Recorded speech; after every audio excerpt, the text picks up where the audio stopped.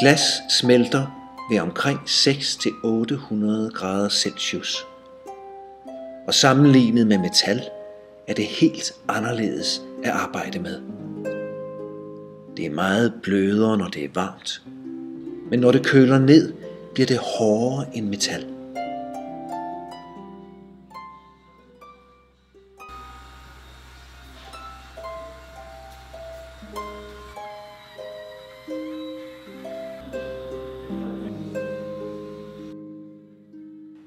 Glassets natur er den runde form. Forskellige glastyper og forskellige farver smelter ved forskellige temperaturer. Nogle farver stiger op mod overfladen af glaskuglen, mens andre synker til bunds mod kuglens center.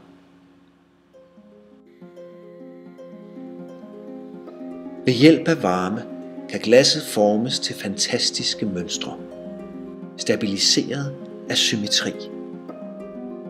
Præcision og kontrol er essentielt for, at kuglen lykkes.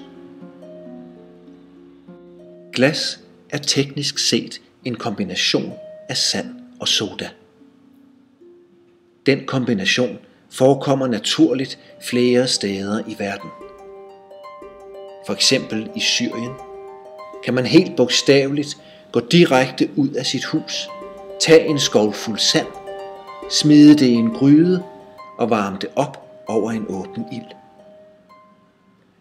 Det er ikke svært at forestille sig, hvordan det i tidernes morgen blev fundet som en hård substans under bålpladsen. De ældste kugler, vi kender, stammer fra Kina og Syrien og kan dateres tilbage til et par tusind år før Kristi fødsel. Før kuglen er helt færdig, bliver den varmet en sidste gang og gjort helt rund og organisk. Ligesom en vanddråbe ender kuglen op med en utrolig høj overfladespænding, hvilket er grunden til, at den er næsten umulig at slå i stykker.